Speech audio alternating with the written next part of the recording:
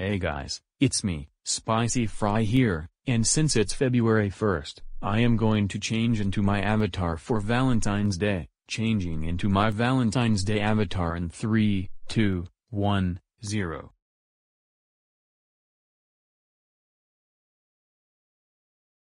So guys, this is my avatar for Valentine's Day. My voice is Rod from Plotagon, and they now have Comedy World accessories. So what do you think of it? Let me know in the comments. This is me, signing off. Peace to you and God bless you all.